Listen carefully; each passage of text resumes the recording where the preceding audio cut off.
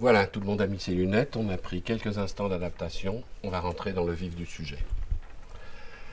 À CIFAP, on voulait simplement vous dire que pour les entreprises, l'enjeu de l'information n'est pas simplement interne, mais externe aussi.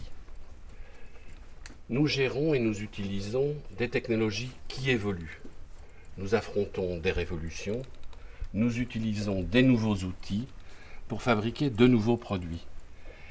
Il faut donc bien former les personnels, vos personnels, mais aussi les autres utilisateurs, les intermittents et les salariés.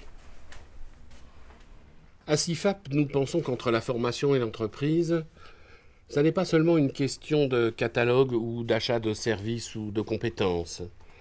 C'est aussi et surtout une question de réflexion globale et de coopération.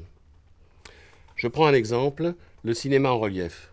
Tout le monde a lu ou entendu que les grands studios américains commençaient à produire en relief pour l'animation ou pour la fiction, que les salles s'équipaient. Est-ce à dire que le deuxième pays du cinéma doit rester en dehors du mouvement, en dehors de l'aventure?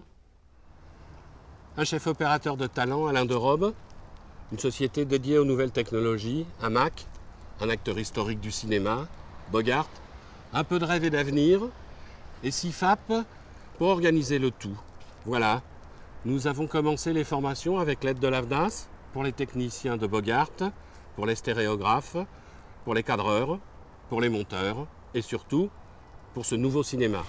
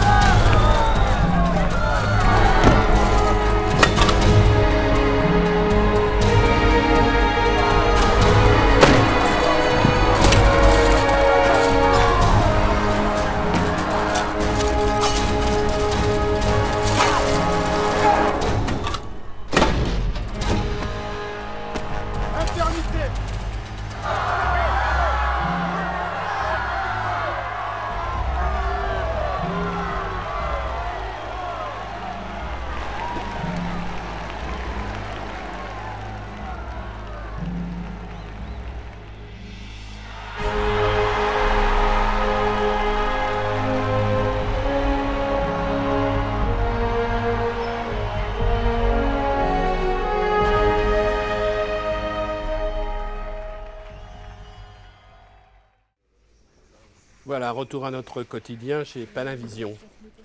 Avec Alain Coiffier, nous avons euh, développé la même euh, philosophie. Une nouvelle caméra, la Genesis. Il fallait savoir s'en servir pour la mettre sur le marché. Nous avons donc monté un stage sur les caméras haute définition en interne et pour les intermittents. Et ensemble, nous avons édité un livre sur les caméras haute définition. Et puis comme la suite logique de la caméra, c'est le laboratoire, nous avons monté un partenariat avec le laboratoire Éclair. Les formations internes sont en cours et avec le CIFAP, Panavision a accueilli plus de 200 stagiaires sur son matériel. C'était donc un enjeu de taille. Au fond, la formation n'est pas un impendice négligeable, une obligation euh, légale et sans valeur ajoutée. Une obligation qu'on dédaigne. Non. La formation, c'est le regard de l'entrepreneur tourné vers l'avenir. Et dans nos métiers, c'est aussi un peu un regard de rêveur. L'industrie du rêve.